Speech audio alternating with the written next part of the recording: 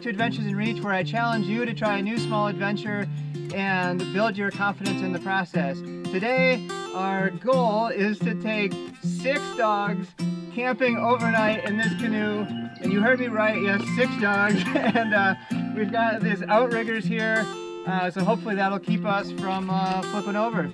Should be fun. Midnight, back here. Midnight, come on. No, Jank, over there. come on, Mid. All the way, Mid. Go boa.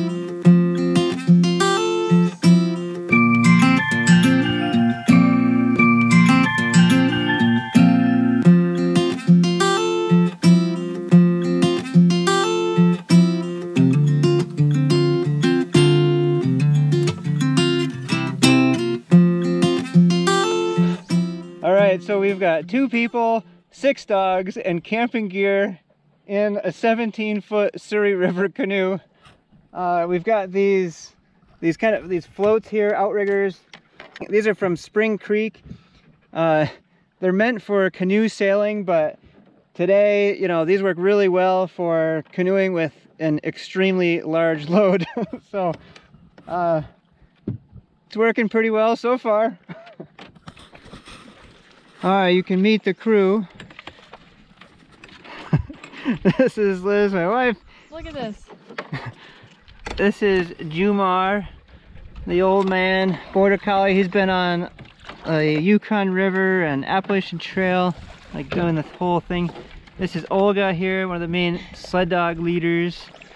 We've got Toss, which is her uh, companion on you know a lot of the um, dog sledding this is Hatch, another sled dog. Jenga, she's a whoop, former sled dog and now a pet. And we've got Midnight. All the campsites were taken, so we now get to Portage with six dogs.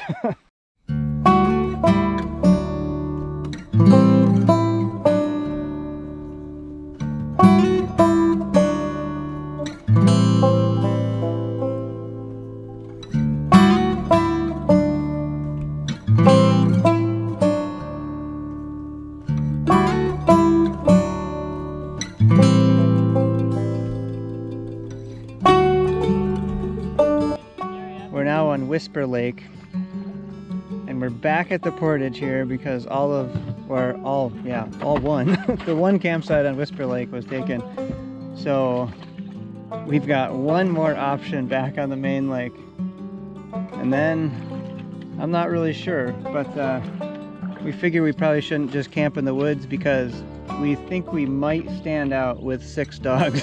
so looking for a next one. Someone's